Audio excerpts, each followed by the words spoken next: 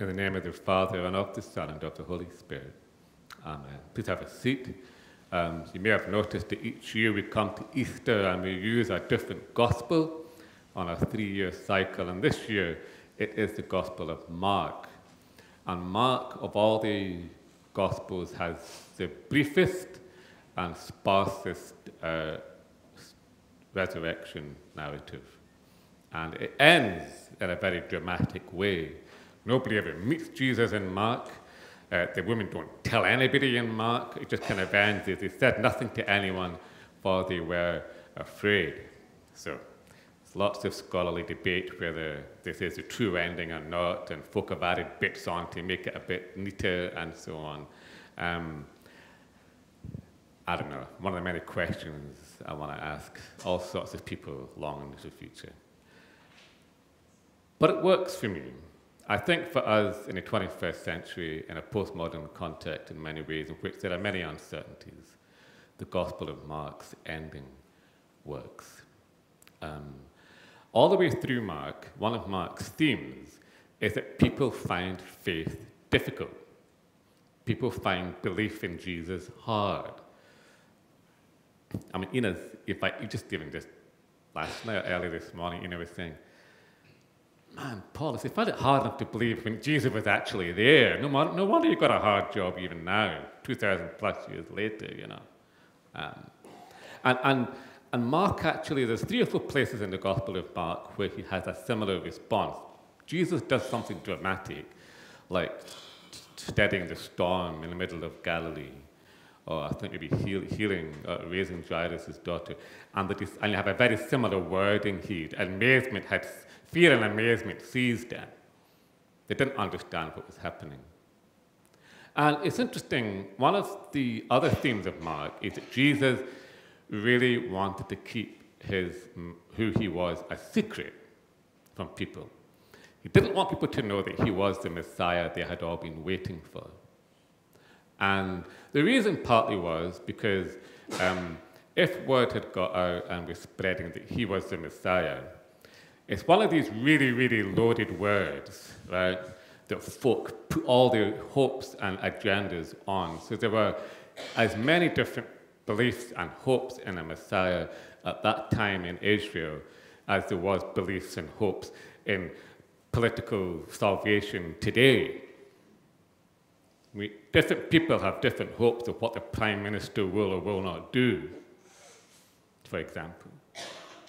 And we see this even within a younger generation today, in which there is more and more of a disillusionment with our democratic process. There is actually a hankering within people for a strong leader who will sort things, who will fix things, and they will put into that box all of their hopes and aspirations. And Jesus really did, he was pushing back against that. Because he, what he wanted was that people would not believe in him until he had risen from the dead. He wanted to, he wanted, because none of them, none of those current understandings of what it meant to be a Messiah, none of those stories or those hopes involved him going to the cross. It just wasn't in any of them. Nobody expected the Messiah to go to the cross. That was just not on the agenda. And he would have had approval ratings of minus 100 if he said the Messiah is going to suffer and to die. And he did tell them that, but they couldn't hear it. And this capture, the public capture of what the Messiah was, was why Jesus wanted to keep it secret. So he kept it now until once the resurrection happened, then that vindicated what the cross had been and what had happened. And so for Jesus, for Jesus, for Mark's narrative, faith was something that came after a long struggle and many disappointments and disillusionments and lots of not understanding. Faith was something that came out of the blue when you were, when you were confronted with something that just did not make any sense. Now, I don't know if the post resurrection Jesus could be tempted. The big theological question. It came to me just about half past nine this morning right, as I was sitting having a coffee back home.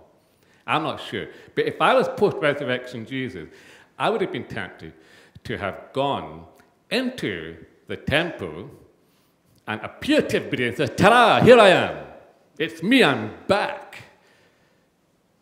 And I was right and you were all wrong. I would have totally done that. And that's just me being me, you know? Because he would have just, it would have just blown everybody away. All the suffering, all the hassle, all the sniping, all the criticism, all the misunderstanding that he had gone through. It would have been totally vindicated in public. He would have blown them out of the water, literally. But he doesn't do that. And in Mark's version, he does it so low key that you almost miss it. And, and I, I'm, I do not want to kind of repeat stuff I said in previous years, because we all know that one of the great, great, one of the many great signs of the authenticity of these four narratives is the fact that they choose women as the first witnesses. It's, it's such a sexist. Ah, mean, saying that seems so wrong today, so un-PC and sexist. But it was just a fact. In those days, the women's testimony was just not seen as valid. And yet, this is the people who Jesus appeals to first of all. And how does he do it? Because they were not expecting a resurrection. This is another sign. This is authentic narrative. None of them were expecting Jesus to be resurrected. They weren't. And, and they're on their way there. And, you know, these women, just want to be with him. There was nothing in it for them anymore. He'd gone. There was nothing in it for being with them anymore, for being with him. They just wanted to go and be there and perhaps put some spices on his body because people's bodies decay fast in that heat. But they're not even thinking straight because there's this massive stone. Basically, it's put in a groove. So there was a real problem in those days of grave robbers but also, get this, of second-hand graves, with upcycling, all right, okay, in which people nick somebody else's grave and put their body in it. Obviously, different cultures and generations have different temptations and challenges. That's not a problem today. It was a problem then. So you really wanted to secure your gravestone. So you had a groove into the ground, probably laced with stone, and a huge circular stone had been rolled down into it. So very, very difficult to move. You'd have had to lift it out of the groove, or you'd have had to push it back up the slope again, which, you know, even Eliot couldn't manage that on his own, you know. It's a tough, tough thing to do. And the women are, women are on, and they're thinking, they're thinking, oh, who's, who's got to move the stone? You know? And there was something about that question which for me summarizes the human predicament, the human condition. That there is, we know we should be doing something, but we can't quite do it. There's a gap between our hopes and aspiration and actually delivering it whether it's politically, whether it's socially, whether it's environmentally, whether it's spiritually, whether it's just trying to fix stuff in our own lives or our own families. There is always a, there is always a, oh, who's gonna who's gonna sort this? Who's gonna do this? And, and, and for me, as, as a people, as someone, I've been in ministry for so many decades now, and see so much sadness and people's hopes and dashed and all sorts of things. There is this I mean, in Isaiah, you get this beautiful figurative picture in Isaiah's reading from many centuries before. We talked about death as a sheet that is spread over all the nations, or the old fashioned version is a shroud over all the nations. And we have a, a book at the back of our church of those who have died, and we just lost Sadie Ellis just over a week ago. Death is something which comes to everybody, and we can't fix it we lose our loved ones. Or, or you take a step back, I just Facebook friends just this morning popped up as every Saturday they have protested in Inverness since beginning of October against all, well, uh, just all the hostility and fighting in Gaza. My pal, a consultant up at Raigmore, and he's been to Gaza to train doctors over there. And, and his wife just put down, the season's turning, it's so warm now but it makes us realize just how many months we have been gathering here every Saturday. about the violence and the suffering on all sides there. The shroud that covers the earth, that shroud is still there. Remember that wonderful photo from the astronauts of Earth called Moonrise or whatever it is? It's a lovely picture. Suddenly we can see the Earth for the first time from space. And to think of a shroud over that, death, suffering, not just about death, but it's suffering and the way that we mess things up, and the way that we're always with saying, oh, ah, who will move the stone for us? Who will move the stone for us? And the women go and they find a stone rolled away. And the stone's rolled away not so that Jesus can get out, okay? It's just so they can look in. It's just so that they can look in and see that he's gone.